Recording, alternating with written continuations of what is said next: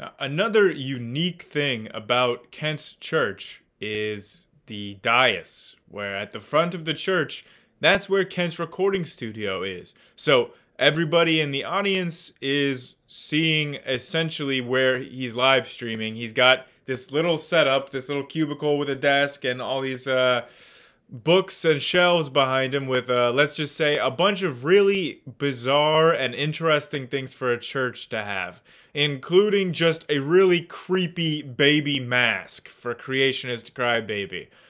Let's just teach science in science class and leave the evolution religion out. It's got nothing to do with it. So I'm not hostile towards science. Okay. Kent, did a dinosaur that fossilized have parents? Yes, obviously. So those parents had children as well as brothers, sisters, and cousins and a part of the population.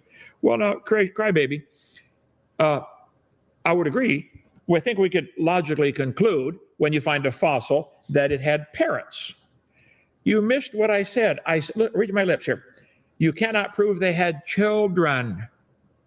So that's different than having parents. Maybe you don't know how it all works, but see, parents produce children. Okay.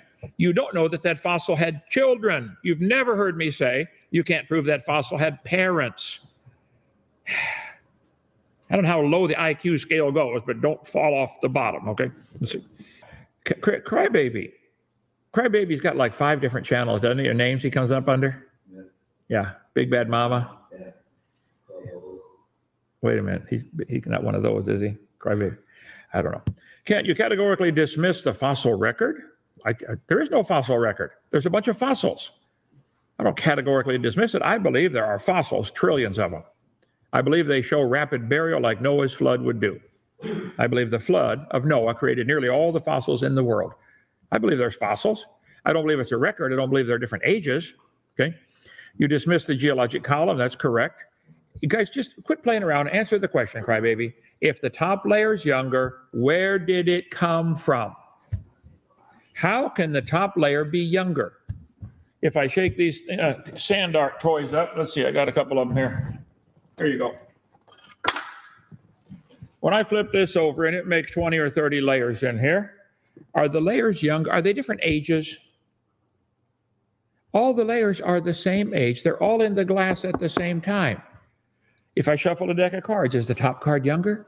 No. Moving dirt from one place to another does not change the age of it. There is no geologic column. It's dumb, doesn't exist. It was made up in 1830. Only place you'll ever find it's in the textbook. Okay. Radiometric dating? No, I understand how it works. And I, I show the clear assumptions involved in it.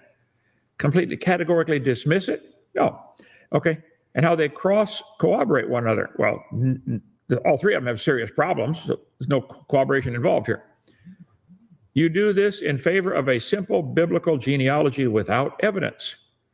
I've been covering on Friday night, I'll do some more tomorrow night, scientific evidence that the earth is not billions of years old. The Bible says it's about 6,000. I think the scientific evidence also would lean that way. And the Bible says there was a flood 4,400 years ago. I think the scientific evidence would say, hey, that's probably correct. So I do believe in the biblical genealogy found in Genesis 5 before the flood and Genesis 11 after the flood. I believe that's true and correct and accurate.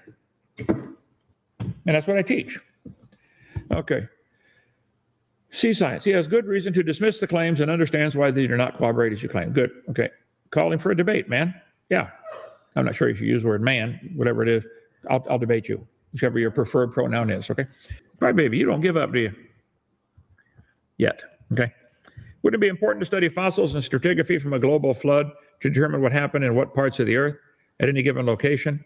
Flood-based, flood-based geologic column? Well, yeah. If you watch the video experiments in stratification, where they did with the flume, the sideways moving water, how it, has to go over contours and stuff.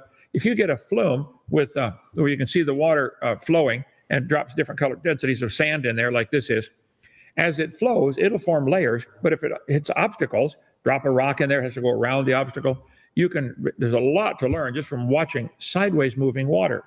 And during the flood of Noah, the tide, being uninterrupted with no continent sticking up, could become harmonic and go up and down 200 feet, called tidal pumping.